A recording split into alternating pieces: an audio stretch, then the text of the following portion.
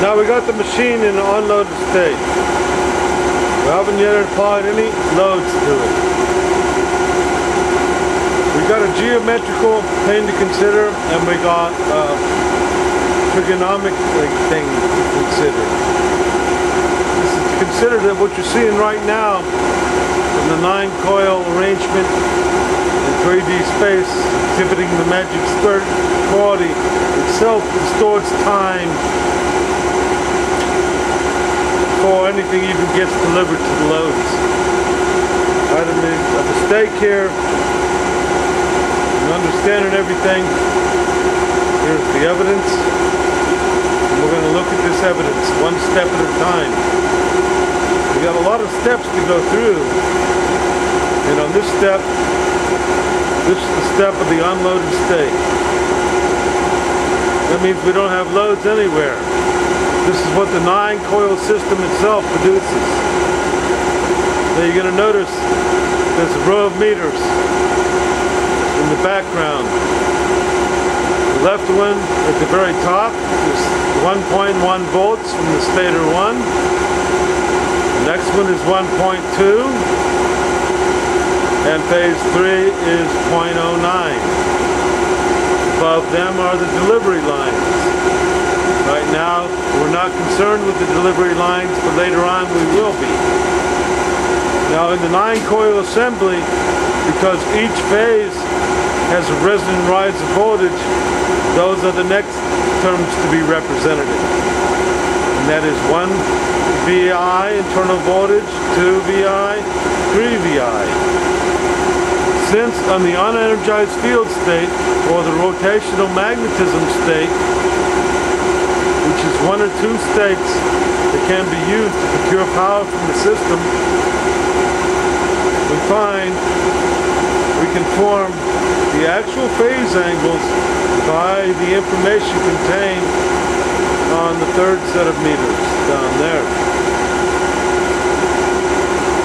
Now, these are the time reference points between 2 VI and 3 VI. Right now, 2 VI is at 5.2 volts. 3 VI is at 20 volts. If they were 180 degrees apart in time, that would be 25.3 volts. But yet, the meter there shows in excess to a 180 degree phase angle. Now we go to the predominant interphasing that exhibits over a 180 degree phase angle and that's the one between 1 and 3 as all labeled as shown below. We got 8.7 coming from that source. We got 20.1 coming from that source. Should be 28.8 and yet we find yet another over unity in time degree phase angle on 1-3 measurement. Now since we got two angles with the measuring by trigonometry alone, which comes down to this law of cosine things that we'll go through next, we would scarcely suspect that any voltage will be present on the 1-2 measurement, which is 3.9 volts, being between 8.7 and 5.2 now we go down to decipher the whole problem and we use this thing called the law of cosines. This law of cosines is crucial for determining whether in fact time distortion is happening and right now on the empty unloaded state we're observing that time distortion in fact is happening. But we can't understand that. No, we can't understand that at all.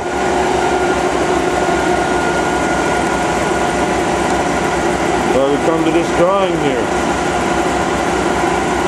On this drawing, we can arrive at a, a more than one peculiar state where the phase angles by trigonometric addition do not add to 360 degrees.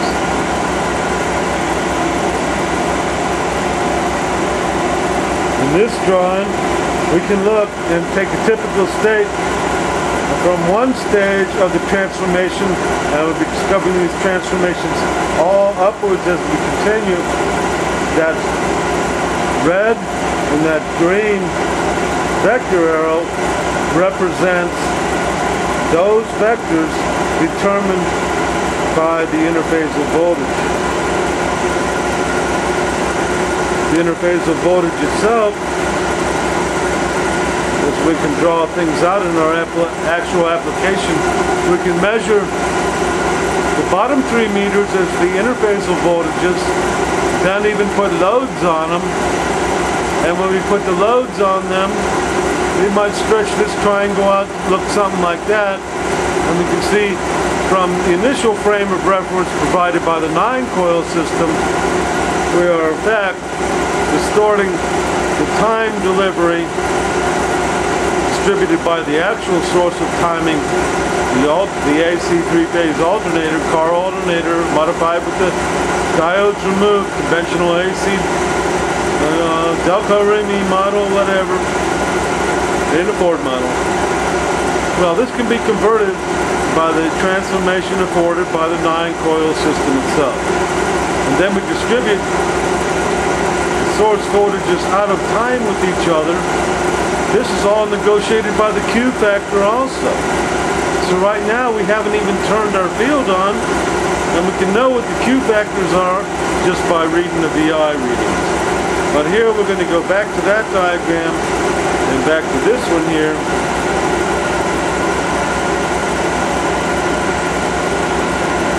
We have difficulty in filming ourselves. Pardon me folks, we're about to look at. And then we're back to this drawing here. On this drawing here, I said again, in the background, it looks like the back two phases are almost 180 degrees out of phase, and yet we can't understand how we're getting readings where something can be over 180 degrees out of phase. On this particular drawing, what we've done is the bottom purple arrows represent a section of time that in some states we observe that time's not expanded instead of time is contracted. Now let's look what happens when we take them two-dimensional vectors and remove that section, the bottom section of contracted time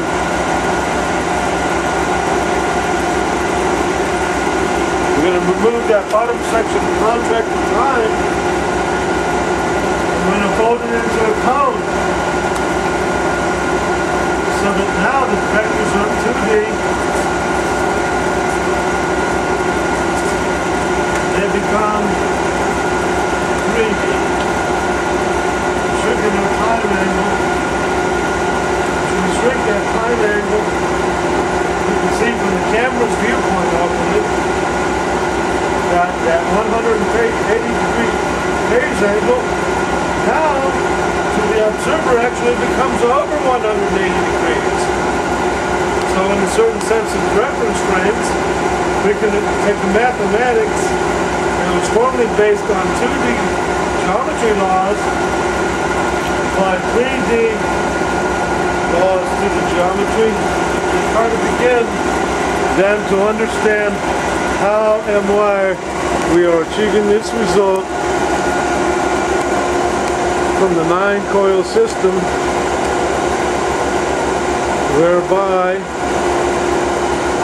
we're achieving more voltage between the points of reference than should possibly be true not only on just one corner but two of them and even leaving voltage left over for the left hand meter now at 3.9 volts. Thank you for this one.